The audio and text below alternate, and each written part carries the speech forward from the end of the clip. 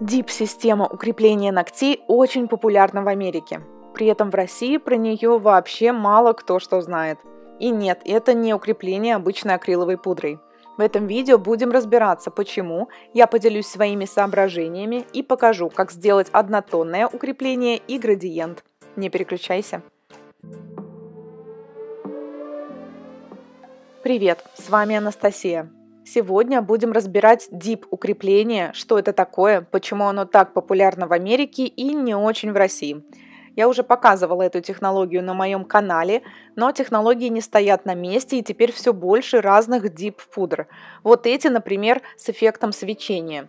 То есть в дневное время они имеют один оттенок, а как только выключаем свет, совершенно другой. Вот эти цвета, например, совершенно натуральные. Они выглядят как нежно-розовый и прозрачный. Но при выключенном свете они будут светиться ярким светом. Итак, дип-система – это не то же самое, что укрепление акриловой пудрой, потому что для нее нам потребуется специальная дип-пудра, которые иногда бывают два в одном, то есть могут быть акриловые и дип-пудрой, но не обязательно. Чаще всего они идут отдельные дип-пудры. Также нам нужна специальная база, которая сохнет на воздухе, и специальный топ, который тоже сохнет на воздухе. Основное преимущество этой системы в том, что вам не нужна лампа, то есть все можно выполнить без использования диодной или ультрафиолетовой лампы. В американских салонах эту услугу предлагают буквально на каждом шагу. При этом в России, когда у меня была задача купить базу для дип-системы, я просто обзвонила все магазины, и вы знаете, я с очень большим трудом ее нашла всего в одном месте.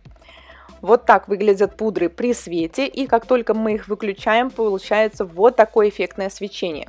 Кстати, одна сиреневая почему-то не светится, мне кажется, по ошибке туда попала акриловая. Приступаем к мастер-классу. Сегодня у нас клиент с вполне стандартными ногтями. Здесь отросший гель-лак, которому 3 недели. Начинаем со снятия. Я буду использовать керамическую фрезу, скорость 28 тысяч оборотов.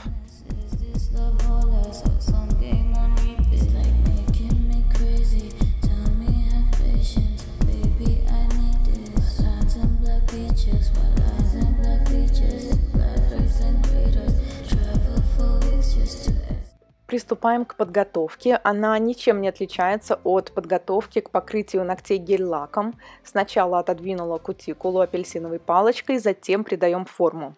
Пожелание клиента было сделать ногти немного покороче, соответственно, оптимальная форма здесь будет мягкий квадрат. Не забывайте сравнивать ногти и сразу видеть их под покрытием, потому что ложа, его длина, может отличаться. Например, часто бывает, что на безымянном ногтевое ложе длиннее, чем на указательном, либо наоборот. Но как только вы покроете ногти цветом, об этом уже никто не узнает, и они должны совпадать по длине именно от кутикулы до свободного края. Когда мы делаем форму квадрат, не забывайте также скруглять уголки, потому что если их оставить очень острыми, это может привести к сколам. Переходим к комбинированному маникюру. Я работаю фрезой пламя с красным абразивом. Как вы видите, он у меня уже отвалился от стерилизации, хотя, по-моему, я и пользовалась всего два раза. Скорость 17 тысяч оборотов.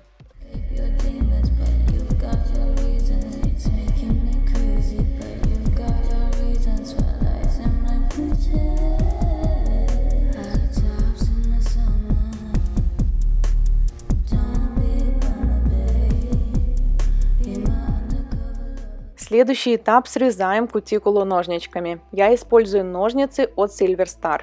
Также вы можете работать щипчиками, если вам так удобнее. Далее необходимо нанести дегидратор. Я, к сожалению, забыла записать этот этап, но он обязателен. Мы его наносим на всю поверхность ногтевой пластины и дожидаемся полного высыхания. Далее наносим бескислотный праймер только на свободный край. Я точно так же поступаю и при покрытии гель-лаком, потому что, как правило, сколы происходят именно на свободном крае. Теперь наносим базу, ту самую, которая сохнет на воздухе, и вот здесь надо работать в темпе. Сразу же сверху посыпаем пудрой. Здесь важно работать быстро, потому что она застывает буквально за несколько секунд на поверхности. Немного ждем и стряхиваем лишнее. После этого мы переходим к следующему ногтю. Можно отряхнуть излишки вот такой пушистой кисточкой. И после того, как прошло какое-то время, мы наносим второй слой базы. Стараемся делать это максимально тонко. И снова посыпаем пудрой. Есть еще техника, когда окунают палец в пудру. Ну, скажу честно, ни такой вариант, ни этот не являются сильно гигиеничными, потому что, как вы видите, все равно пудра, получается, касается кожи клиента и обратно попадают в банку. И это, я думаю, одна из причин, почему эта технология не так популярна в России стряхнули лишнее, и теперь нам нужно нанести активатор. И это такая жидкая субстанция, похожая на дегидратор, наверное. Мы наносим его и далее ждем примерно 2-3 минуты. После этого можно будет сделать запил, если необходимо. Ну а на другой руке мы пробуем яркие цвета и сейчас покажу вам, как можно сделать градиент. Снова наносим базу, очень важно это сделать равномерно. И сначала я беру розовый неоновый оттенок, наношу его только в зоне кутикулы, а ближе к центру я беру кисточку подальше, чтобы как бы рассеять цвет. И затем на свободный край наносим оранжевый, и также это делаем чуть-чуть рассеивая. Стряхиваем лишнее, переход пока не супер плавный, но у нас будет еще второй слой. Я сейчас окунула палец в пудру, потому что кончик не до конца пропитался. Дело в том, что я точно знаю, что я не буду использовать конкретно эту банку уже с другими клиентами, поэтому я так делаю. Но в плане гигиены получается, что каждому клиенту нужна индивидуальная баночка. Повторяем процедуру. Снова наносим розовую пудру и оранжевую. Ну, еще как вариант не подставлять баночку снизу, но тогда получится небольшой перерасход. Ну, либо надо научиться ее так экономно сыпать, чтобы ничего лишнего не было. В два слоя переход уже получился намного плавнее. И затем мы переходим к следующим ногтям. Вот это лишнее, что у меня сыпалось, вы знаете, во мне сразу сыграла небольшая жадность или экономность. Мы подумали, ну как так, вот эта пудра же не пропадет, и просто смешали два цвета. Получилось что-то среднее между неоновым розовым и оранжевым. В итоге мы использовали этот цвет для мизинца. Ну а на средний я наношу оранжевый в два слоя. Эта техника, я думаю, так популярна в США, потому что она действительно очень быстрая. Ну, такая база просто заставляет вас работать быстро. По сути, здесь ничего сложного нет, просто нанес и посыпал. Никаких выравниваний, никаких заморочек, в общем-то, все просто.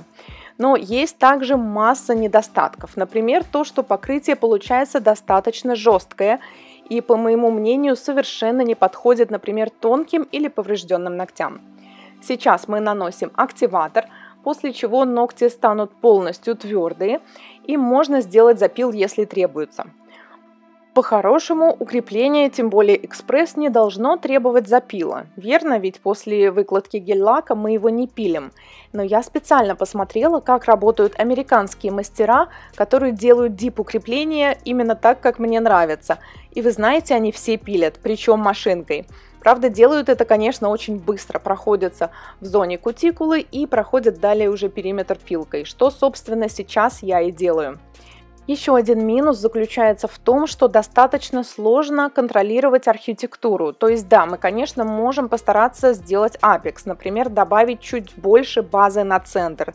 Но ввиду того, что она очень быстро застывает на воздухе, это все нужно делать прямо молниеносно, чтобы потом не пришлось много пилить. В итоге я запилила и отшлифовала ногти, чтобы они получились изящные, и вы, наверное, заметили, что они также по-прежнему смотрятся широковато. А все потому, что очень сложно контролировать толщину нанесения, и даже если я могу нанести базу тоньше по бокам, в этом случае цвет, то есть пудра, уже не ложится туда, и, соответственно, мы не получаем плотного оттенка. Мне очень интересно послушать ваши соображения по поводу этой системы. Пользовались ли вы когда-нибудь дип-укреплением и почему, по вашему мнению, она популярна в США, а в России нет? В конце я нанесла топ, который также сохнет на воздухе, он очень похож на лаковый топ. И, кстати, все эти пудры светятся в темноте, поэтому неоны получаются вот такие яркие, светящиеся, а наша натуральная рука тоже светится ярко-зеленым. Но, кстати, в свечении сразу заметно, если где-то есть какие-то проплешины, хотя при свете в обычной жизни их вообще не видно. Спасибо, что смотрели мое видео. Если вы впервые на моем канале, советую подписаться, потому что новые полезные видео, такие как это, выходят каждую неделю. До новых встреч. Пока-пока.